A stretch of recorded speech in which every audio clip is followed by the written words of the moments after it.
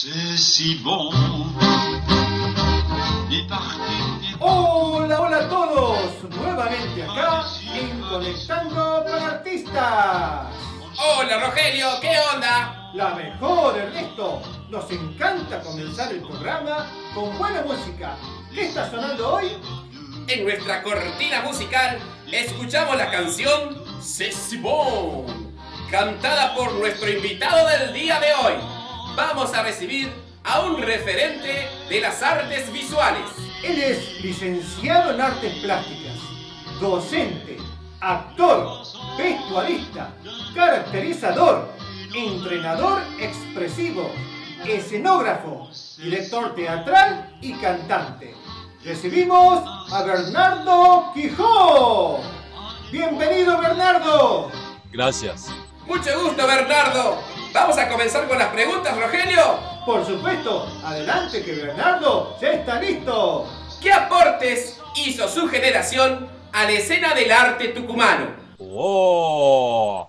Nosotros aportamos sangre en cantidades, cuerpos ausentes, miradas que rogaban amor, cosas tremendas aportamos, conciencia y por sobre todo decir que uno pensaba diferente. Muy interesante.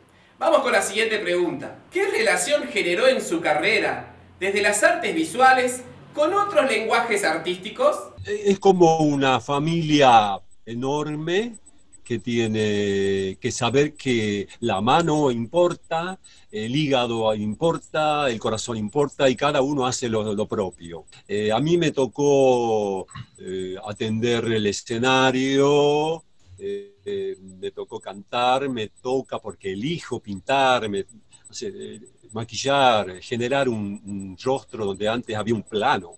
El lenguaje es una maravilla. Las muchas lenguas que no hablen todas juntas es lo que me gusta. Excelentes aportes a la educación artística de nuestra provincia.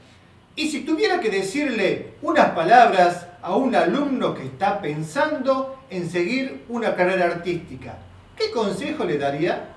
Conócete a ti mismo y no mezquines, no mezquines, no seas, no seas mezquino. Compartí, aprendé a escuchar y hacete escuchar, aprendí a querer, pero no son metáforas, ¿no? Cuestiones concretas, cuestiones de saber, de, producir una autoconciencia para que no creamos que siempre la culpa lo tienen los de afuera. Adentro se generan eh, causas que luego producen efectos que son negativos y no nos damos cuenta porque no nos conocemos. Saber quiénes somos y que podemos mejorar. Provecho.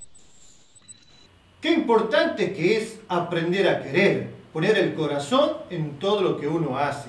Ahora, última pregunta, eh, Bernardo. Eh, ¿Puede compartirnos algún hecho o alguna anécdota en su rol de docente que la considere especialmente significativa? Yo tuve un maestro maravilloso, un hombre llamado Joaquín Ezequiel Linares. Ese, ese hombre a mí me enseñó a pintar, me ayudó a pintar, y siendo él una, una estrella, una persona, una personalidad estelar, él podía compartir la grandeza de su pintura con la grandeza de la pintura de otro pintor tucumano también pequeño, más, mucho más pequeño, más chiquitito que es Dante Chipuli.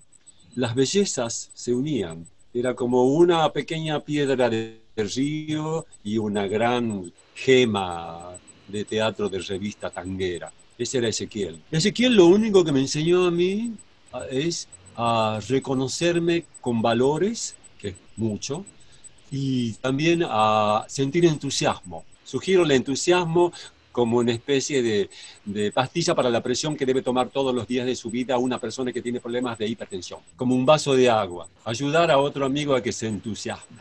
No es poco, ¿eh? Claro que no. Excelente, Bernardo. Desde el Ministerio de Educación agradecemos que te sumes a este gran proyecto. Y acuérdense que educación y arte no pueden estar separadas, jamás. Somos todos mismo cuerpo. Ese cuerpo tiene que ser aceptado y conocido. Y pulir todas las especulaciones, los intereses personales. No importa el partido en el que estamos, hay un solo planeta. La educación artística de Tucumán se nutre del aporte de todos los artistas. Ahora nos tenemos que ir, pero nos vamos muy contentos, ¿verdad Ernesto? Así es, Rogelio, nos vamos y nos vamos con la voz de Bernardo Quijón. Hasta nuestro próximo encuentro en Conectando con Artistas. Que sean muy felices y hagan muy feliz a la gente. Que seamos muy felices.